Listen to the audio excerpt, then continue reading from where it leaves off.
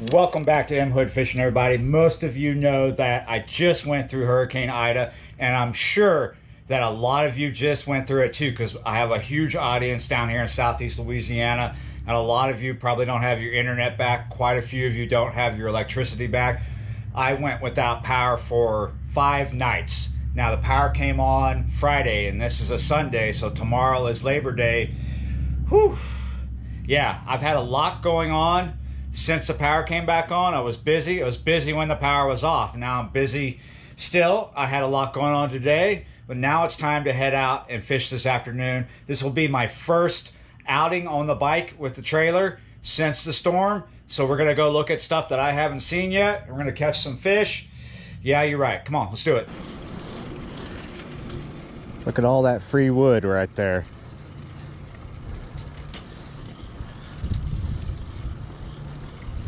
Everything seems kind of normal right now until you get to a place where something like that happened. Huge oak tree.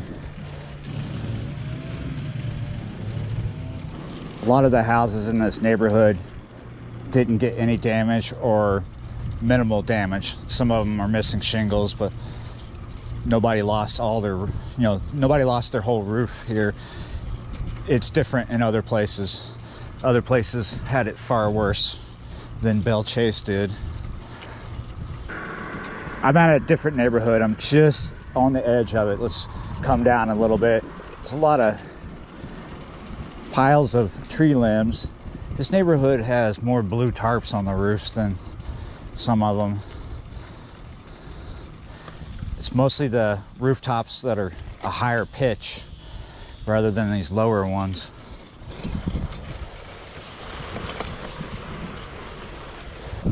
you haven't figured it out yet, yeah, I'm on Barriere Road. I'm here to get some bait, do a little bass fishing. I want to do the river tomorrow, but I want to have fun catching bass. Huh. Let's come let's come look at this. I was hoping that this pond here would be a little less choked than this. I was hoping that the high water would have took some of this hyacinth out, but no, there's just as much here as there was before the storm. Huh, there's activity right in here though, but I think it's mostly gar, and it stinks over here too. It's got this ugh, bad water smell. It smells kind of like sewage. Good thing we're not doing a catch and cook. We're just getting bait because I don't really like eating something from somewhere that smells like a septic tank. But I want to try something while I'm here because I want to see if it's just gar or if there's a bass down there. So we got a Senko on right here on a uh, three, I'm sorry, three aught offset worm hook by Gamakatsu. So there's actually two culverts here. They're both metal. This one, you can't tell that it's there. It's camouflage, just covered with stuff. Which one? Let's try to get for the sketchy one right here. I mean, that one's actually the sketchy one because it moves a lot. Where's my feet gonna go? Can't see my footing here.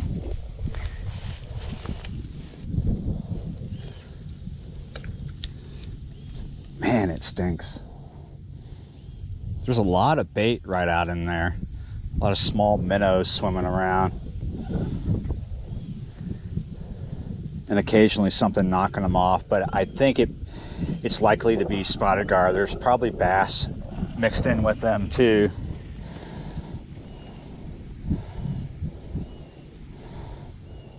Oh.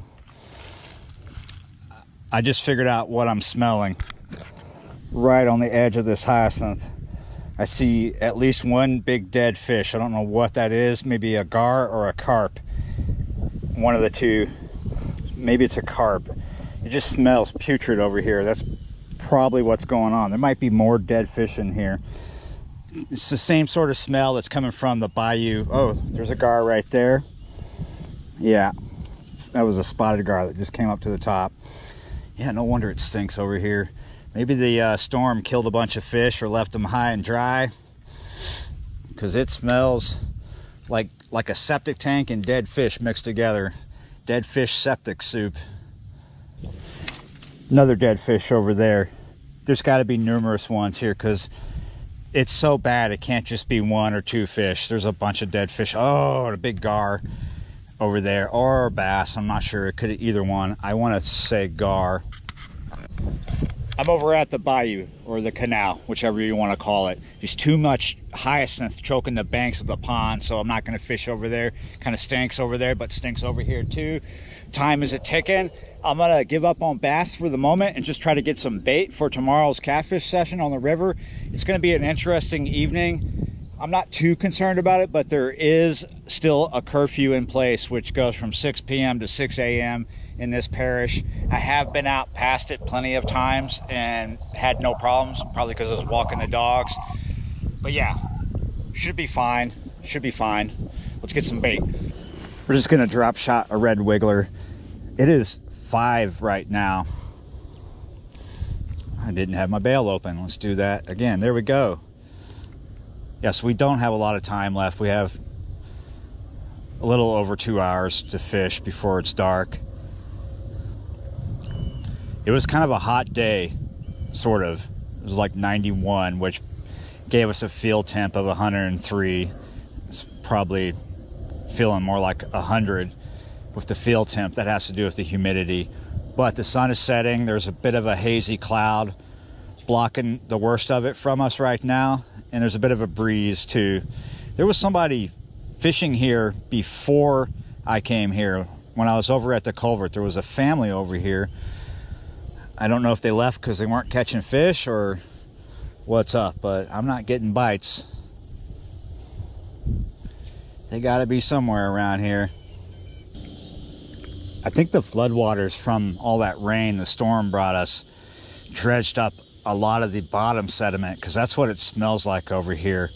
When you go into a, a bayou like this, your feet are going to come out black. At the bottom, there's all this sediment that has that is just black as night and it's going to smell like sulfur. It's going to stink really bad. And that's what this water looks like right now. Like it's got a lot of that bottom sediment dredged up. It was probably rushing through here. We are going to have to take a journey to try and find healthy water with fish biting in it. I'm to take a shortcut through here. I'm using this jogging path to quickly get to the back of this pond. Hopefully the water is a lot better back here. Hopefully it doesn't stink like the bottom sediment.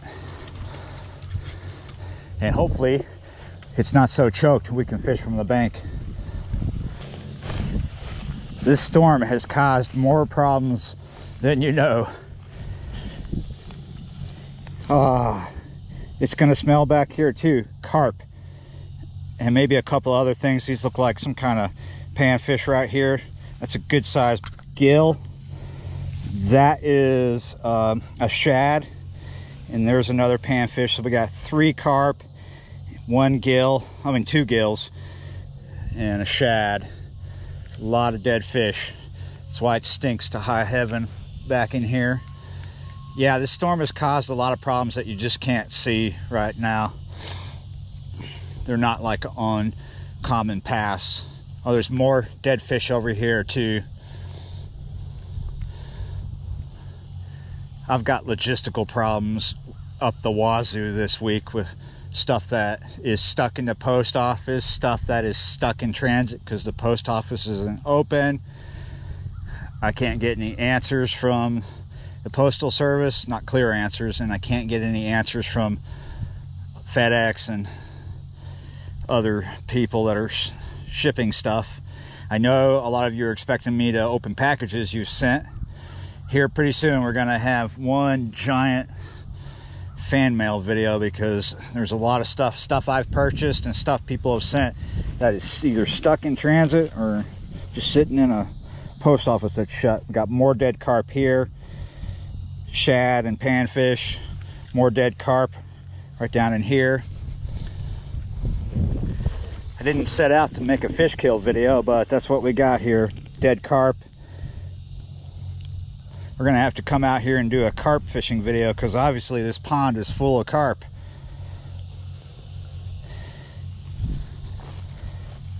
I haven't seen a largemouth yet unless, yeah, that might be a largemouth right there by my foot. Lots of panfish up here. There's a crappie, sac-a-lait right there. More carp. I don't know if that is a giant bluegill or no, that's a warmouth right there. I think it's just bloated. Must have pushed water up in here. If there's a bass right there. Another gill. Some of these fish could have been up in up here and got stranded or something killed them. There's a lot of dead fish floating out in here. I think this back end of the pond is shallow. More dead carp. These are all common carp, by the way, not the uh, silver or big head. And I thought I would get away from the bad smell coming back here. It's actually worse back here. Where I've parked the bike is kind of high up and there's no dead fish like basically up where we're walking right here. It's, they're all real close to the water and you can see the previous water line is about four to five feet up from there over where we just were and not so much right here. Maybe it came up into here. It looks like it was here. Let's see if we can find a fish that's alive. Might be a lot of work to get a live fish. I have some ideas that I'm working on in my head why I'm finding a lot of dead fish, and it has to do with what I was talking about earlier, the smell of the sediment. Usually you don't smell it unless you disturb it. And the water's like a really thick black color right now, so it smells like the sediment was disturbed. It's possible that some of these fish died because they were left high and dry when the water when the water went down but a lot of them are in the water floating. So it's very possible that oxygen levels got depleted right here. I haven't heard reports like this from anyone from anywhere else around the area but of course not everybody's online. Not everybody has power not everybody has internet. More dead carp here. It's interesting we're seeing more dead carp and uh, shad than anything else. And we haven't found a giant bass yet, just a small dink. There's like a, those are like about eight pound fish right there, those two commons floating there. I'm gonna drop my worm down in this ditch here that's coming off this pond. Sometimes I catch cichlids and red spotted sunfish here. Have not seen a dead cichlid yet.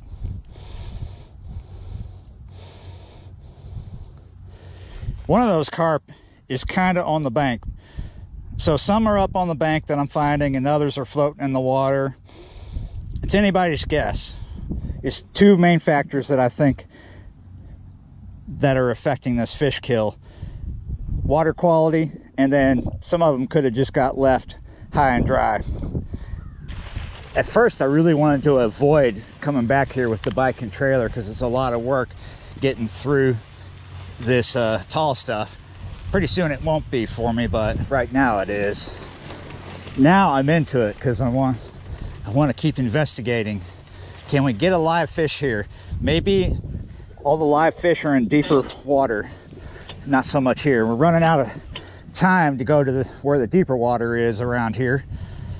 You could always speculate that some kind of chemical got in the water somehow because of the storm, but it, it could be something more simple than that. There is a lot of life in the water still.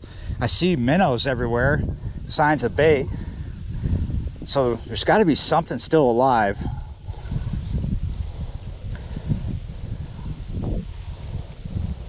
See, there's fish. Well, most of the fish that I see active are gar. I think that was a spotted gar that just broke the water over there. We're going to throw this worm out that way. There was another spotted gar that broke the water. Gar can do just fine in oxygen depleted water. I don't think I've seen a bullhead dead yet either. They can bury themselves in the mud and be fine too. I think if I hurry, I might be able to get to a deeper water spot that's at the end of the road before we lose light. I'm not having any luck here. I haven't had a bite yet. All right, guys, I'm making a quick pit stop on my way to deep water to check this out. Let me get here. This is the worst smelling spot so far. Look at it. This, this pool here under this culvert is just full of dead fish. Some of them are sizable carp and some sizable shad. But look at it, small and big, just a ton of dead fish. Tons and tons of dead fish. Dead fish everywhere. Oh, I hope this isn't a skunk video, but does it count when all the fish are dead? Is it still a skunk video even though they're all dead? There's gotta be something live somewhere. Usually, oh my goodness, look at all that. Dead fish right in there. It's just dead fish everywhere. Do you think there's something alive down there? We have a few minutes. I don't know, this is a dead fish video, isn't it? Let's drop this worm down there. Usually when you drop a worm somewhere around here, it's like a match and a can of gas. You catch something, but I guess you're not if they're all dead. I've had a pretty productive day already. I was hoping to have some productive fishing. I didn't expect this, let me tell you. I got rid of the Florida man look, if you didn't notice already. And I did a bunch of other work as well out in the sun and the heat.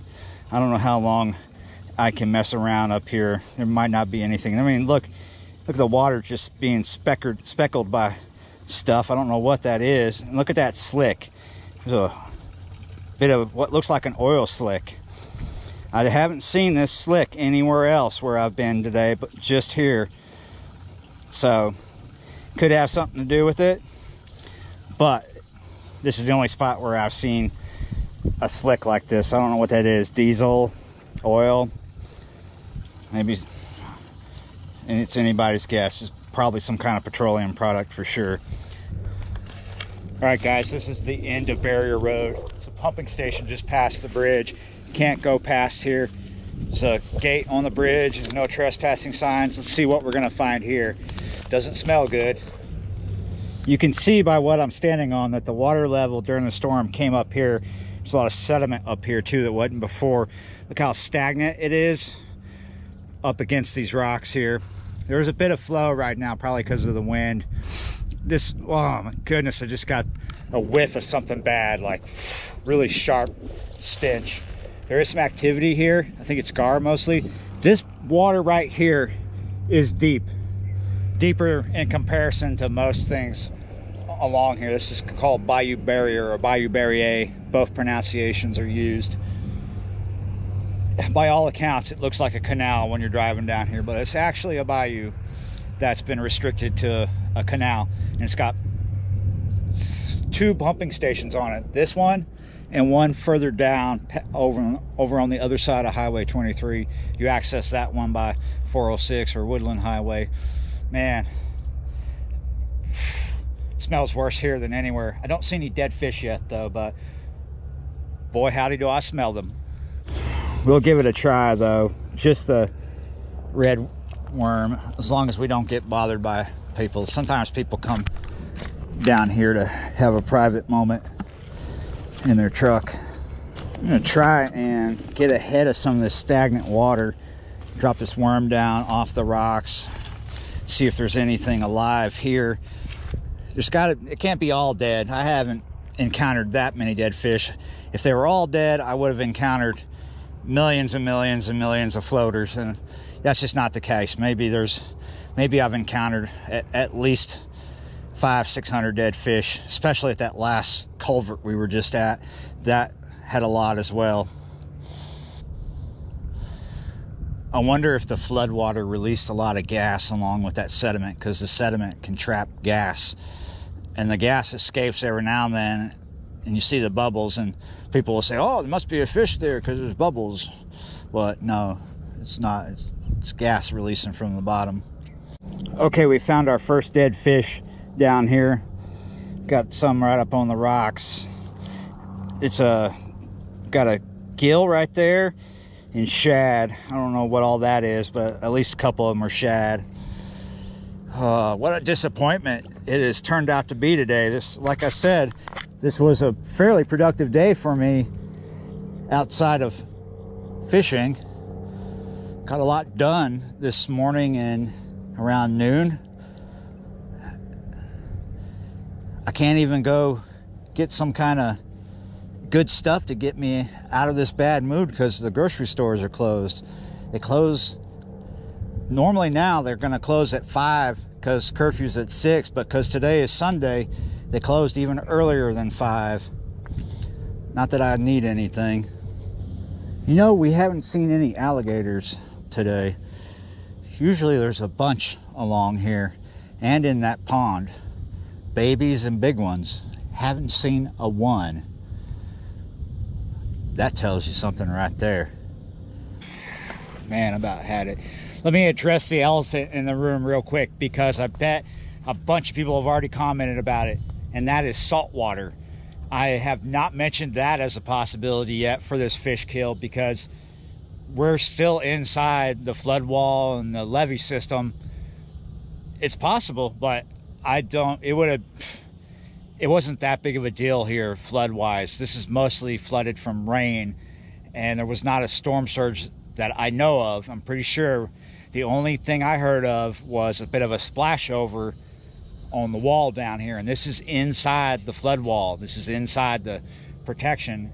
This is not tidal. This is not near any any point where storm surge could get into it unless it was really coming unless we would be talking about a breach if salt water got in here we'd be talking about a wall breach or a levee breach and we did not have that we had some splash over but not enough to do this on Bayou Barriere or Bayou Barriere, however you like to say it, this far up.